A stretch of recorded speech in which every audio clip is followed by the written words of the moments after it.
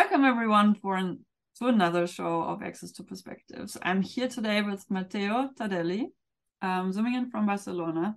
And yeah, uh, it's, it's a great pleasure having you, Matteo. Thanks for joining. Thank you. Thank you for having me. Absolutely.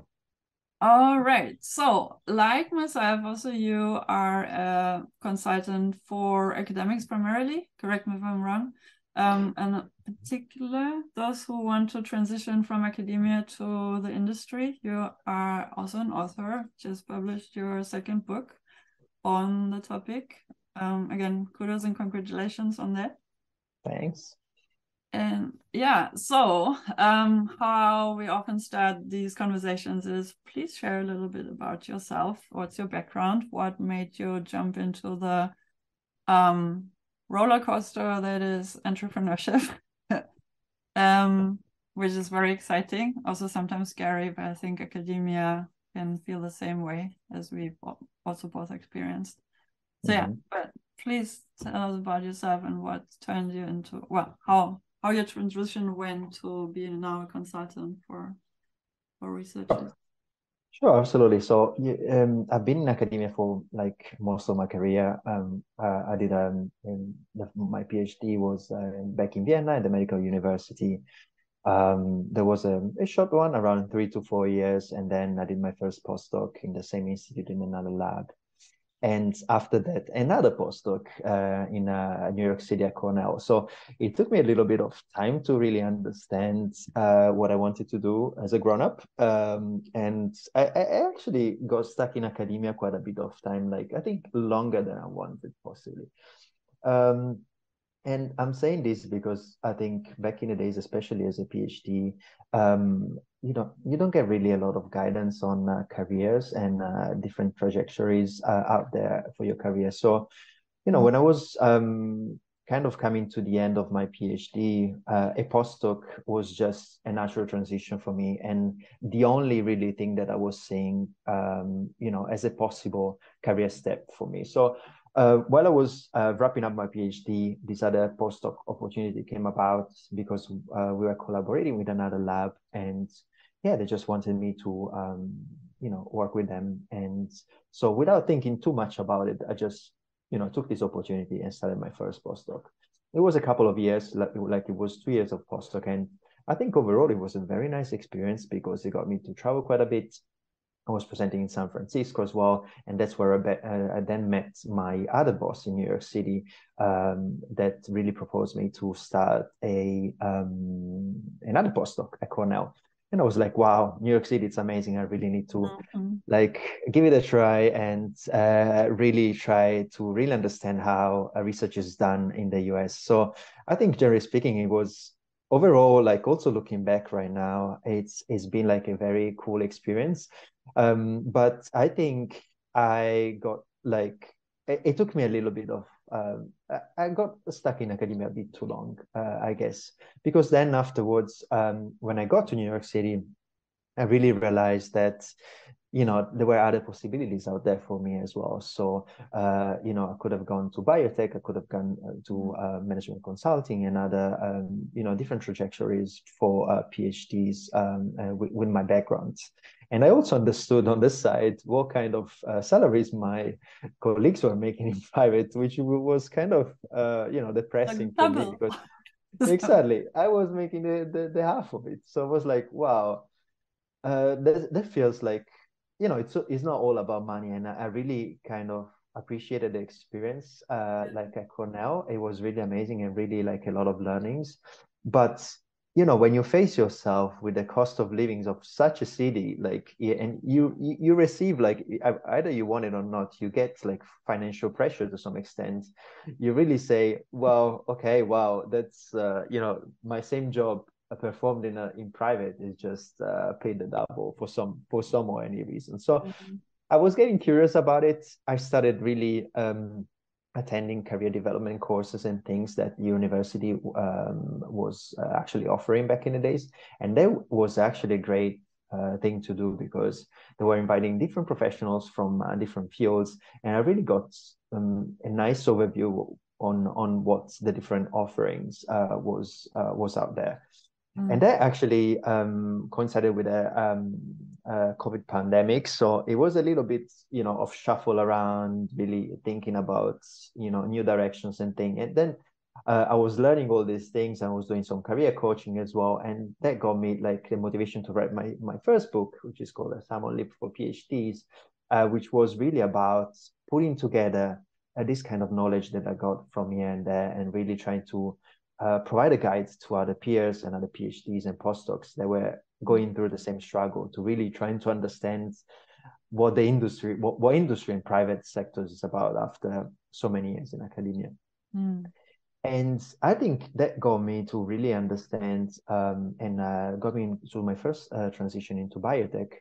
Uh, and um, I, I, basically got a position as a senior research scientist and uh, in a biotech based in Boston that also had research fa- facilities in Europe. And so I got this position, and um, because it felt like a reg- like a very like easy and seamless transition for me, because I was coming from a bench scientist uh, science background, and I was gonna perform experiments at the bench again, just in private. So you know the overall interview process was was was interesting to acknowledge and it was definitely different from from uh, an interview that you get uh, for a postdoc which is mm. at least to me was extremely informal while uh, you know for to get this job in a biotech i had like different rounds of interviews different presentations different meetings with different people so it was kind of a bit of a, of a journey also to get there mm. uh, but um, finally i got in um, um, this job as a senior uh, scientist in a biotech and I think generally speaking, the job itself was very similar to what I was doing before. So when uh, PhDs really asked me, you know, what the skills you think you were missing when you transition to your first job in in private, and I was like, well, it's not that you, you really have all your skills there. It's just a way of reframing them and really make making them translatable into something that makes sense in industry. So I was doing bench work it was a little bit possibly a little bit more structured so we had, we had different uh, kind of goals to reach within uh, you know our programs and things like that and it was much more collaborative than uh, in academia because as as i remember during my postdoc and phds it, i was the only responsible of uh, my project really so um, there was, of course, you know, you could always go to a colleague and ask uh, whether there was a project, a problem with a specific technique. But mm-hmm. generally speaking, you know, it's at least to me felt like a bit of a lonely kind of. It, it's less team based than uh, it would be like in private. Yeah. At least that's that's my perspective.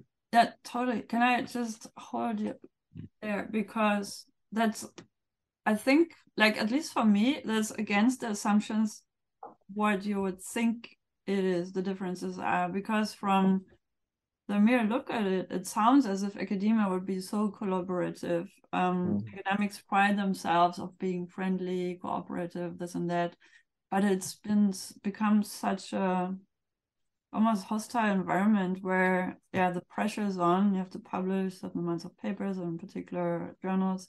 Um, mm. You're left to your own destiny um, yes, you can ask colleagues, but how likely are you to ask? Because imposter syndrome is like, oh, I should know this. Like that's what I've felt right. most of the time and as a PhD student. I should know this myself. Mm-hmm. I cannot ask this. It's too trivial. then again, like once you open your mouth and ask, people turns out like others also don't know. So let's figure it out together. Whereas in the industry, like first of all, like you mentioned, the structure, there's a clear deadline. Like when project um supposed to be finalized and the client needs a product or an outcome, um, then there's a reporting line whatnot. Whereas in academia, it's like, yeah, um, you have three years, good luck with that. and then either you you set your own deadline, which hardly anybody that I certainly didn't. You vaguely know, okay, I need to finish within whatever. But then that's so difficult to work towards. And so yeah what i what i've learned also from being an entrepreneur and looking into all kinds of non-academic um, work placements also in the government or um, like non-governmental institutions with the united nations and here and there um, as boring as it sounds desk work or also lab research um, and time bound sounds oh there's so many strings attached but the strings are also structure and they help making the work more efficient and they help in having a feeling of accomplishment every day of the week and not being left with the frustration of that we are all mm-hmm. so well as academics. So I feel both sectors, like, um, or if we look at industry and academia next to each other, they can still learn so much from each other, but they tend to not know, but people in each sector don't tend to not know much about the other. And there's only vague assumptions. Like you said, like when, like, um, PhD students tend to undersell their their learnings because they don't get certificates for what they acquire as skills over the course of a PhD or a postdoc. But they have all of that team management skills, project management skills, maybe not as much time bound as mm-hmm. could be, but but they know the processes.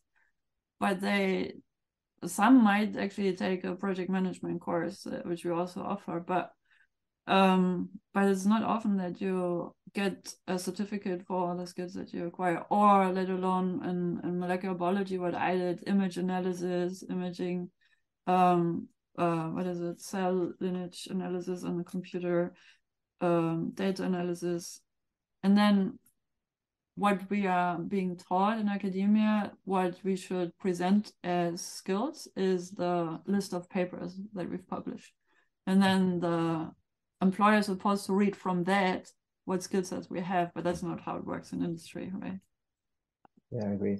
I totally agree to that. Uh, I totally agree on the fact that the teamwork as well. It's something that um, you know comes through a little bit more in industry as well as mentorship as well. That is something that's uh, also, in my opinion, sometimes is really uh, missing, especially when you when we talk about careers outside academia.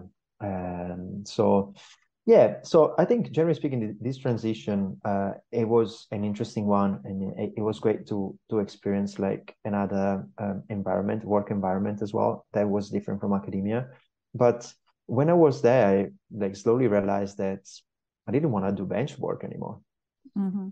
It, it was just you know I've been doing bench for ten years, uh, and you know, it's just. It's what just was it that you didn't like? For me, it was the and the repetitiveness. It's like I felt like a robot. Yeah. Like, it's too, yes, it's you can automate a lot of that, especially in the industry. There's a lot of automation, but then you deal with machines every day and, and computers and what I mean, computers. Yes, that's also what I still yeah. deal, deal with, but I kind of it's more engaging and interactive.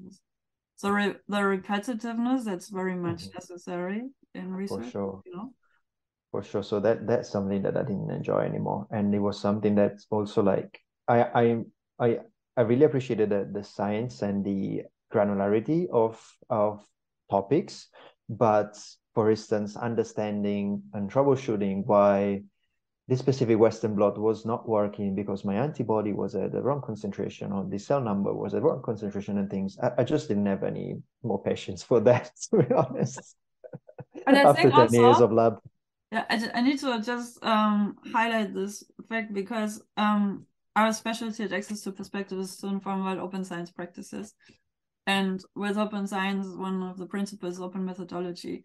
So there is a tendency, there's various venues where um, people can share the methodologies, also null results, negative results. Um, there's um, fora and communities where you can engage um, and and ask a community i'm doing this experiment with the setup. Um, what am i expected to see if i do this and that?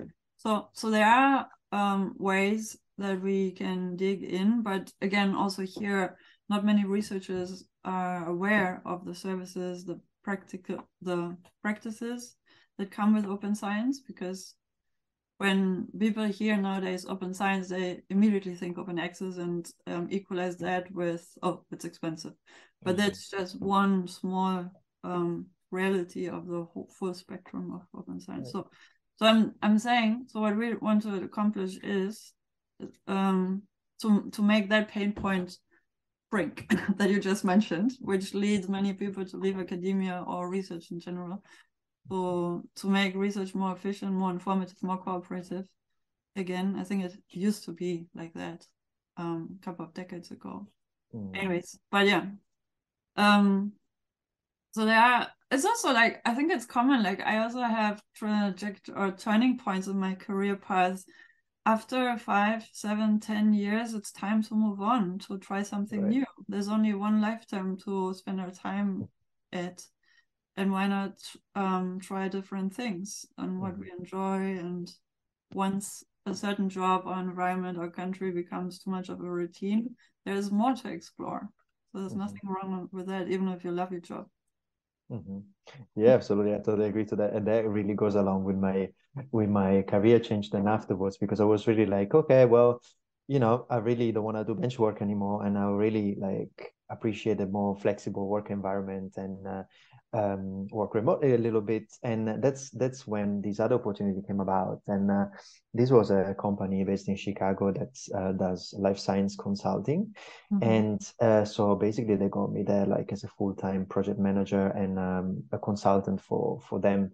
And the cool thing was that I could really work from anywhere I wanted. So I could really travel. Uh, that's when I really uh, left my apartment and really started um, a bit of a nomadic life in which um, I'll be traveling around Mexico. A little bit I was in uh, Los Angeles as well, and then around Europe. And then I could just work whenever, you know, like according to timelines, of course, and um, and projects uh, deadlines and things like that. But I could really be fle- very flexible with that. And I think uh, that was completely, you know, another another kind of area and another career that was extremely different from what, what I was doing before.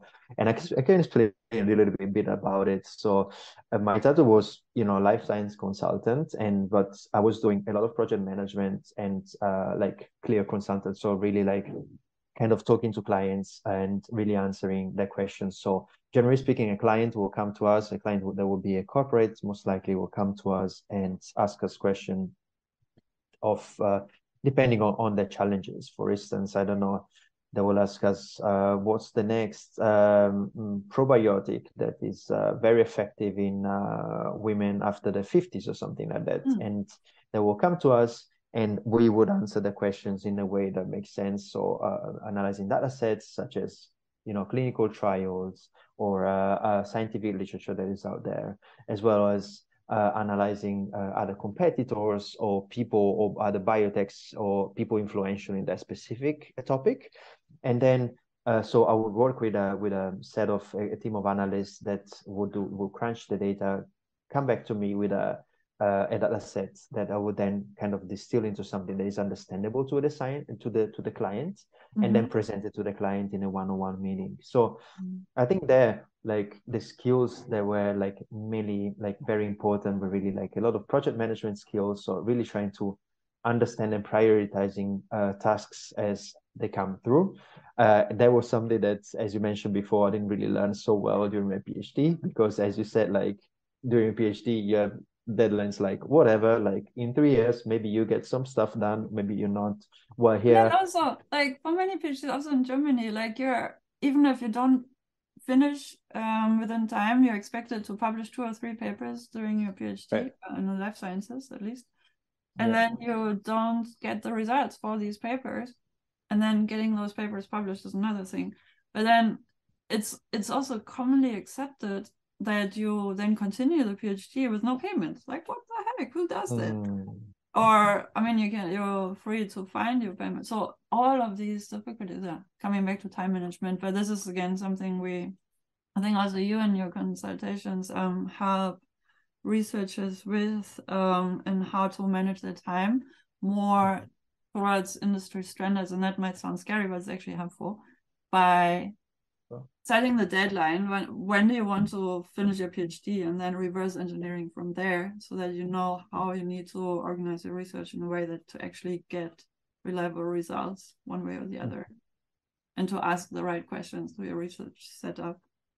And to know where to find information to so all of that comes together again back to open science principles across the um, workflow of research. So all of that is possible. So yeah okay so, yeah, I don't mean to interrupt so long, but yeah, no, no, no, just, just yeah, uh, like we said in that really project management was a skill that uh, it was important to learn, and mm. I really mm. had to learn a little bit on the fly because, um, yeah, it, they don't teach you how to project, how to project manage like five or six projects at, at the same time, you know, on a very tight mm. deadline. So that can be stressful at times.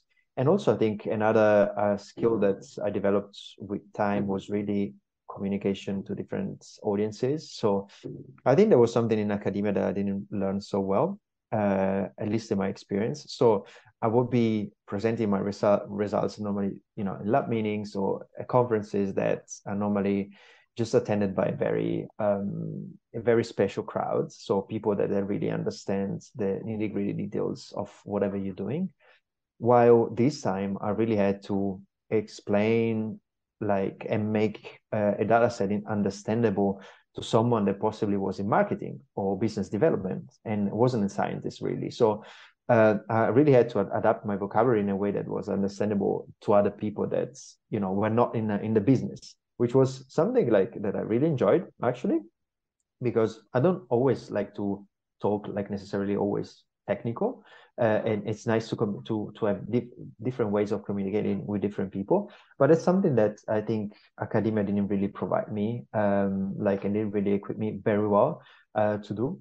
So I think that's something that's another skill that's like communication to different audiences is something that I was uh, learning also as well on the go.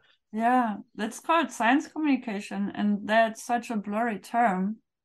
But mm-hmm. if you look at it, um, there's there's like you said, there's there's different stakeholders of research in science, um, and each stakeholder has their own language. So what I also often do in my trainings is to let people do a stakeholder analysis. Who I who has a stake who in society has a stake in your research, who's interested in seeing your results.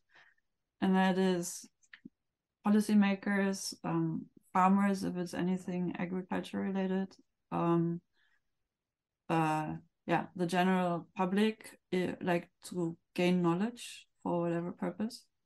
Um, and then particular stakeholders, and then you can, you know, diversify from there. And then each of them needs to be approached in a different way, in a different language so more formal, less formal? How can you reach them? What platforms to use? Um, do you email them directly or can you use social media to get their attention?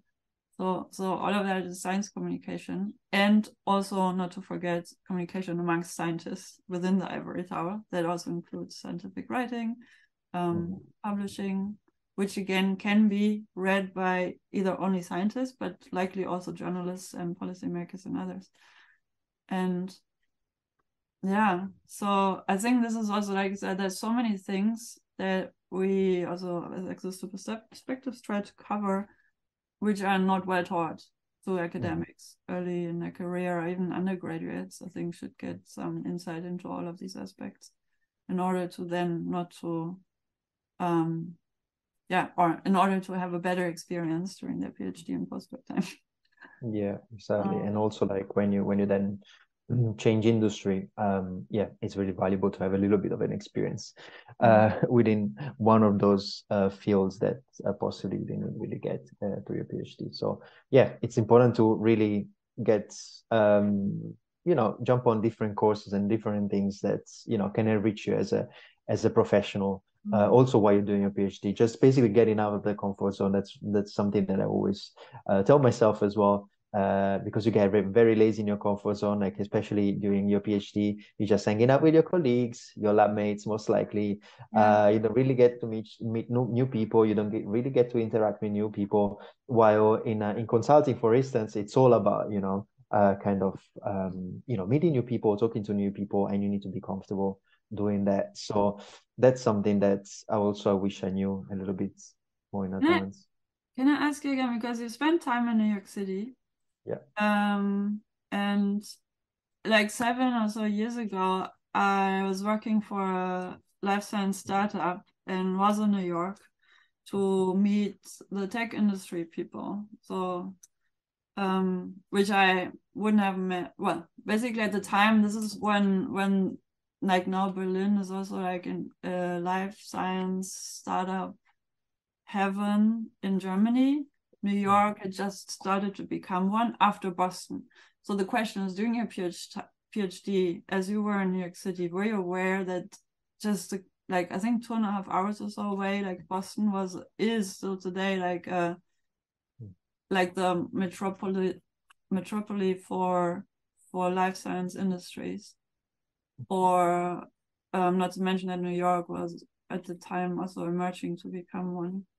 So, mm -hmm. so, so basically, what I heard from you, you had no exposure to other sectors that might be relevant to your career. So no, I was starting to get a little bit of a of an understanding of that, and uh, mm. shortly, like through these uh, uni courses and uh, and uh, some of these online online events and in person events, you get it a bit of a exposure to what's out there. But I think, generally speaking, that didn't really give me a lot of insights into the job roles I could yeah. apply for, for instance. So you know, I knew that what a research scientist does because that's what I was doing. Okay. Mm-hmm. But if you ask me like regulatory affairs or if you ask me like anything about scientific science communication and scientific writing, I, I wouldn't really know much about it. And I think that that was generally speaking like to, to really summarize a little bit my experience and and you know also the journey the, the journey that took me here.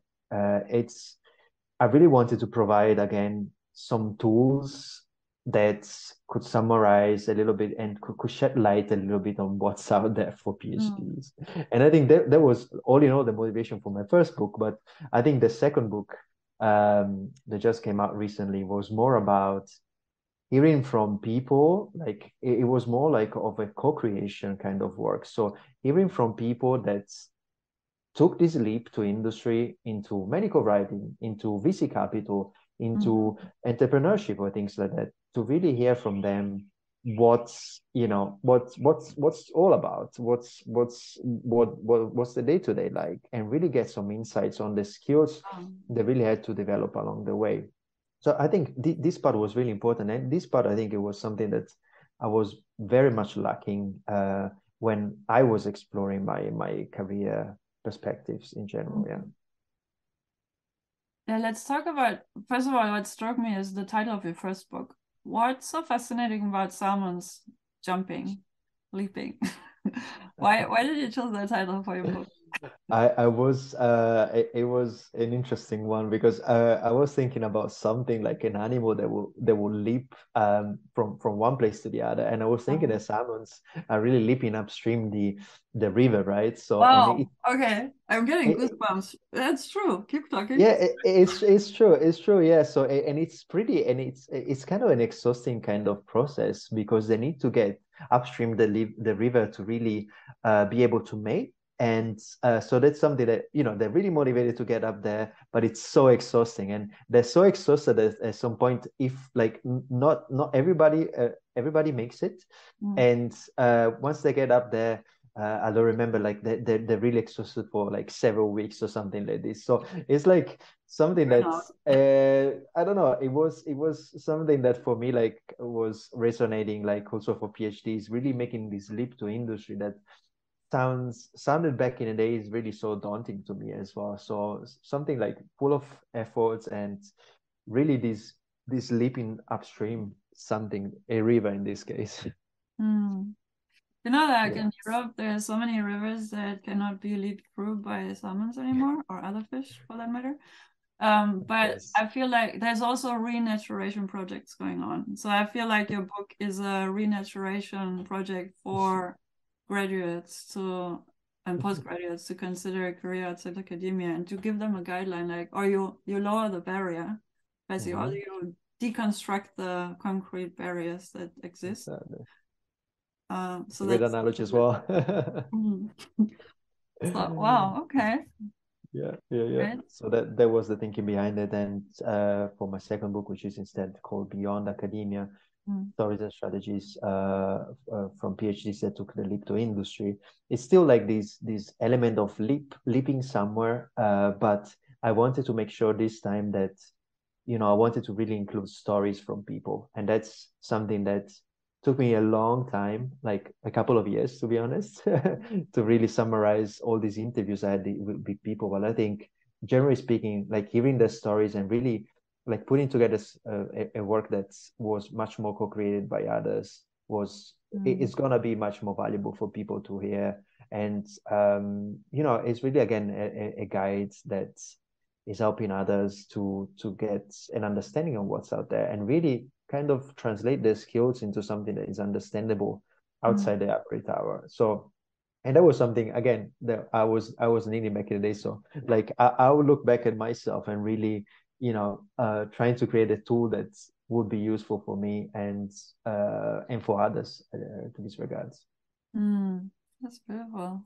So how many interviews did you end up putting into your book? So more than 50 actually. Um yeah, it was a lot. it was a lot of talking. Uh, That's like but a wealth of information. Yes, yes. I started already. It was it was I think mid mid 2021, I believe. Yeah. Mm. I started that to uh you know uh, collecting uh people and journeys and things like that to really understand what the leap was about and how they made it and uh, if they had any kind of advice to themselves also to for others to really uh, how to understand how to really ace this uh, this leap to industry. So I think that's that was a that was a great idea. I think, and it's something that uh, you know everybody's talking about these informational interviews, which are extremely useful. So I was basically running informational interviews for my readers. In other words. Mm. Cool. And are they categorized by sector or by particular topics? So they're, they're basically um, so there's there's a chapter in which uh, I really go through 10 stories of PhDs that made the transition to the most crazy uh, kind of um, you know career trajectory. And it's not as crazy as it, as it sounds, but uh, some some of them like started as uh, as neurobiologists, for instance, and went into VC capital funding. So something that is like for me, wow, that's mm -hmm. like so diverse or like other people that went from uh, a psychology research that went into user experience um, research for like uh, meta labs for instance or other stories like that. So that chapter is a little bit more like there's a bit of a narrative while the of course the rest of the book is a bit more uh, non-fiction. And i divided the rest of the interviews in a way that uh, I, in one chapter, I really explore like 20 jobs for PhDs that are out there. And I basically like, let, let's, let's talk about consulting or, or scientific writing or these things. And after this, I describe the job, uh, you know, description and the, the day, what the day to day is like, I really ask people that in, in those positions to tell me more. So for mm-hmm. instance, you know, medical writing, uh, or like a scientific editor for uh, Cell or, or, or Nature or things like that. So that's the way I thought of putting together like the interviews and embed them in a way that's you know it would make the reader a little bit more excited and go through a non-fictional book which is for some readers pretty uh, tough at times. Mm. so it's not you know a, a, a bedtime kind of read uh, approach. Uh, it's more like there's a there's a bunch of exercises at the beginning like to really understand your values and really understand what's next in your career. There's some about uh, you know informational interviews CVs, resumes, as well as writing a cover letter, and then until you know negotiating uh, towards the end uh, your salary your new offer, and really acing the first uh, you know uh, 90 days of in in the new industry. So it's a little bit of a journey that felt a little bit more complete than the first one, and like bringing these voices in from from people was just I think such an added value for me as well personally. Yeah, no, for sure. This is like a yeah, what many people would put a fortune of their um, money into. But it's, it's a huge value. Yeah, hope so. I really look forward to hear from people what they think about it. All right. So, um, if there was one thing you would you would share with your your how did I say that my your past self, like what what was what would be one or two things you would have told yourself as a PhD student in your second or third year um, that you know today? Mm, well, uh, uh, get yourself out book. there first of all. read, read, my book first of all. Uh, get yourself out there and get yourself out of your comfort zone. Really try to like get out of your bubble, get to know other people, and get to know other other people and uh, other alumni that um, that uh, took this leap to industry and really mm. trying to understand what's out there for you and just don't don't stay in academia for so long uh, it just it, it just makes no sense if you if you if you know already because i knew already back in the days i wanted to go mm. into i wanted to try uh, some uh, some uh, you know jobs in industry, but um, I just didn't like didn't have time or like the strength to gather um, you know information about it and or uh, really start uh, this process. So you know really get out of mm-hmm. the the ivory tower, get out of the, your comfort zone, and really try to explore what's out there for you and yeah. you know make choices accordingly what comes to mind is linkedin it's not that mm-hmm. any of us or i'm getting paid for and um, sharing the the brand name but linkedin has a way of checking and building a network first but then also checking um, for institutional profiles like uh, like your college and the Cornell University in New York, um, and then check their the profile, and then they have an alumni section on mm-hmm. LinkedIn where you can see what industries um, people who graduated from Cornell in a particular department or generally, what um, what companies hired them or where they ended exactly. up working or exactly. what sectors they ended up working. So that's a great way, an easy way to inform yourself. Or just use mm-hmm. whichever search engine you feel comfortable with. Like, what's uh, job opportunities outside academia in my research field. There's a mm-hmm. wealth of information also on that. And again, your book. but also talking to the non-life scientists here. So whichever right. discipline you're studying. Also, we mm-hmm. should mention that um like the the what is it, the tenure track only has position for I think the numbers range some like anywhere around 0.4 percent of mm-hmm. the PhD students who currently graduate will have a position within academia. Mm-hmm. So that's a that's a reality that which is also obviously not sustainable. yeah. Like you you're most whoever's listening and you're currently in academia, you're most likely not to stay in academia anyway. So it's mm-hmm. it's um, you might as well check now where you would like to find yourself in two or three years time or exactly. next year already. and there's plenty of exciting jobs out there mm-hmm. Believe it or not. consultant like us, you can teach researchers. You can stay in the realms of academia. Academia is also in the process of reinventing itself with all the, its stakeholders towards more also, and then needs services like ours and industry services to keep the academic system running and to rebalancing it to mm-hmm. to to a more yeah enjoyable um, workplace for everyone to, to be in. Yeah, Right. So exciting times. Um, we're in the middle of a transformation. and thank you so much for the time spent with us. And um, yeah, and and everyone, we you will find Matteo's details in the show notes.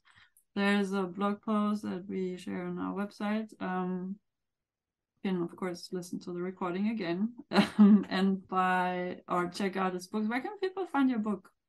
On Amazon. I'll provide the link. Yeah. Okay. Um. So yeah. Um. And then speak to you soon, and hopefully see you soon again, maybe in another um format.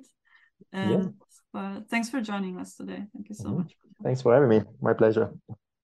All right.